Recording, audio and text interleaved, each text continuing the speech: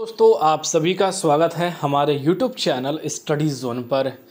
दोस्तों, राजस्थान के युवाओं को एकजुट आने की बहुत ही ज़्यादा ज़रूरत हो चुकी है। अगर दोस्तों, उम्मीदवार एकजुट नहीं आएँगे तो इसी तरह यहाँ पर जो है, कंपनियाँ और सरकारें उम्मीदवारों के भरोसे को तोड़ती रहेंगी और उनकी मेहनत को बर्बाद करते रहेंगी। दोस्तों, सीधा सीधा आप परेशानी यह सुन सकते हैं कि जिस भर्ती को लेकर उम्मीदवार तैयारी करते हैं कई सालों तक, दोस्तों, उस भर्ती के अंदर लीक होता है और सारे रिपोर्ट सौंपे जाने के बाद भी अभी तक सरकार की तरफ़ से और एजेंसिया की तरफ़ से दोस्तों कोई रिपोर्ट नहीं निकल कर आ पा रही है। तो दोस्तों कम्युनिटी हेल्थ ऑफिसर की जो भर्ती थी, उसमें पेपर लीक पाया गया। यहाँ पर दोस्तों जो पेपर लिख पाए गए, उसमें 89 क्वेश्चन जो है, यहाँ पर जो है मैच कर रहे थे। पर दोस्तों, सरकार ने अभी तक उम्मीदवारों को सिर्फ़ झूठा आशीवासन ही दिया है। दोस्तों, मैं ऐसा क्यों कह रहा हूँ? और इसके पीछे एक बहुत बड़ा कारण है दोस्तों, क्योंकि सरकारें और एजेंसियाँ इस भर्ती को दबाना चाहती है और इसकी परिणामें भी दोस्तों यहाँ पर जारी करना चाहती है। तो दोस्तों, पर आप सभी को इसके लिए न्याय चाहिए तो आप सभी को एकजुट आना पड़ेगा और सरकार के खिलाफ मोर्चा भी यहाँ पर खोलना पड़ेगा। तो सारी इन्फॉर्मेशन दोस्तों मैं आप सभी को देने वाला हूँ, क्योंकि एसओजी की रिपोर्ट में साफ़ साफ़ यह बता दिया गया है कि इस भर्ती के अंदर धांधली हुई है, पर दोस्तों अधीनस्थ बोर्ड अभी भी यह मानने को तैयार नहीं है। और दोस्तों कल ही रिपोर्ट एसओजी की सौंप दी गई पर कर्मचारी चयन बोर्ड को आंसर यहाँ पर दो एक्शन लेने में काफ़ी डीले लग रहा है। दोस्तों, ऐसा क्यों हो रहा है? सारी इन्फॉर्मेशन मैं आप सभी को देने वाला हूँ और आप सभी एक संगठन ज़रूर बनाएँ, क्योंकि इस भर्ती को निरस्त करवाने के लिए घेराव करना बहुत ही ज़्यादा ज़रूरी है। दोस्तों, सारे इन्फॉर्मेशन मैं आप सभी को स्टेप बाय स्टेप देने वाला हूँ। सबसे पहले दोस्तों, यहाँ पर आप देख सकते हैं कि भरत बेनेवाल सर की तरफ़ से लगातार ये प्रयास की गई है कि कम्युनिटी हेल्थ ऑफिसर की वैकेंसी को लेकर जल्द से जल्द जो है, यहाँ पर इसे रोक किया जाए और नई एग्ज़ाम डेट जारी किया जाए। यानी कि दोस्तों, रद्द करने को लेकर यहाँ पर जो है, उन्होंने हर एक जगह यहाँ पर विज्ञापन सौंपा और देख सकते हैं कि अशोक गहलोत सर को भी उन्होंने यह विज्ञापन सौंपा है और उनके तरफ़ से यह आश्वासन दिया गया है कि अगर इसके अंदर धांधली हुई है तो इसे कर्मचारी चयन बोर्ड को रद्द करना होगा और न्यू डेट भी यहाँ पर जारी करनी होगी। जिसको लेकर दोस्तों देख सकते हैं कि कल सुनवाई है और कोर्ट ने भी यह आदेश दिया था कि जल्द से जल्द एसओजी है, कर्मचारी चयन बोर्ड को रिपोर्ट सौंपे, क्योंकि उस पर जो कोर्ट की कार्रवाई है वो यहाँ पर आगे हो सके। और दोस्तों, कल जो है निर्णय आने के पूरे चांसेस है उम्मीदवारों के फेवर में, क्योंकि एसओजी रिपोर्ट में साफ़ साफ़ यह कह चुकी है कि इसके अंदर धांधली हुई थी और जो निर्णय है वो कर्मचारी चयन बोर्ड को लेना है। दोस्तों, कल इसकी हियरिंग भी है। सारी ऑब्जेक्ट मैं आप सभी को देने वाला हूँ।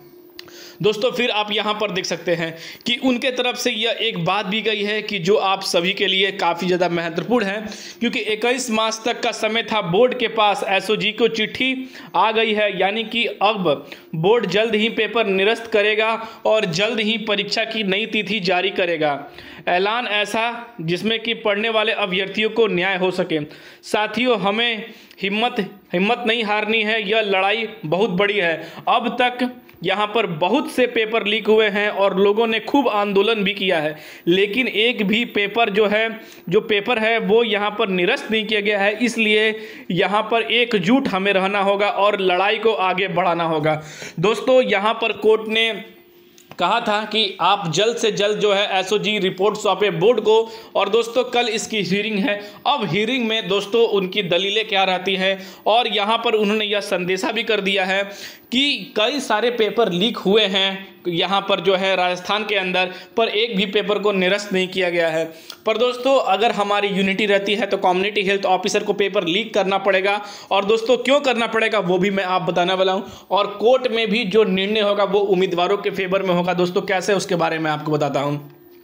यहाँ पर दोस्तों देख सकते हैं कि उनके तरफ़ से यह जो बताया गया है कि पत्र में लिखे हुए जो बोर्ड ने, जो रिपोर्ट सौंपा था, उसमें माना था कि 89 सवाल यहाँ पर जो है मिल रहे हैं। यानी कि दोस्तों, जो बोर्ड ने एसओजी को रिपोर्ट सौंपी थी, उसमें यह माना था कि 89 सवाल मिल रहे हैं, जिसमें कि 100 प्रश्न में से 100 प्रश्न के कोई में से, जिसमें कि जो पेपर लीक हुई थी, उसमें 122 प्रश्न थे। 122 प्रश्न में से यहाँ पर जो है 89 प्रश्न जो है वहाँ पर मिल रहे थे। यहाँ पर कहते हैं कि रिपोर्ट में मिल रहे थे, जिसमें कि 89 मिल रहे थे, जो यहाँ पर, जो परीक्षा दोबारा करवाने को लेकर, पेपर लीक को लेकर लेकर निरस्त और यहाँ पर अपने सत पर के लिए यहाँ पर जो, हालाँकि अब तक बोर्ड की कोई भी, कोई नई यहाँ पर जो है अपडेट नहीं आ पाई है, जिसमें कहते हैं, कोई निर्णय नहीं आया है। एसओ जी ने छः अभ्यर्थियों को बुलाकर पूछताछ भी की है और उनके मोबाइल को जांचा भी है। दोस्तों, यहाँ पर उनके मोबाइल को जांचा भी है, जिसमें कि पेपर लीक को लेकर सोशल मीडिया पर विभिन्न माध्यम से जहाँ पर जो है जो विभिन्न माध्यम से इन चीज़ों को फैलाया गया था और यहाँ पर जो है हालात ये थे, थे कि दोस्तों उनके मैसेज को भी यहाँ पर जो है जो उनके जो मैसेज थे दोस्तों तो दोस्तों, यहाँ पर आप देख सकते हैं कि उनके तरफ़ से यह हंड्रेड सवाल को बताया भी गया था और यह बोर्ड ने भी यहाँ पर कंफर्म किया था। और यहाँ पर देखते हैं कि पेपर लीक में सौ सवाल थे और वायरल पेपर में एक सौ बाईस सवाल थे, जिसमें कि एक सौ बाईस सवाल में से जो आप सभी के क्वेश्चन थे 89 जो सवाल मिल रहे थे। अब दोस्तों, बात है कि यह बोर्ड एग्ज़ाम दोबारा कराएगी या नहीं कराई जाएगी, यह चीज़ को लेकर। अगर दोस्तों, कल तक बोर्ड का कोई स्पष्ट जवाब नहीं आता है तो फिर से एक बार बहुत ही बड़ा आंदोलन आप सभी को देखने को मिलेगा और आप सभी का साथ भी चाहिए। तभी जाकर दोस्तों आप सभी के यह आंदोलन सफलतापूर्वक संपन्न होगी और पेपर लीक मामले को लेकर कर्मचारी चयन बोर्ड द्वारा दोबारा डेट भी दोस्तों यहाँ पर जारी की जाएगी।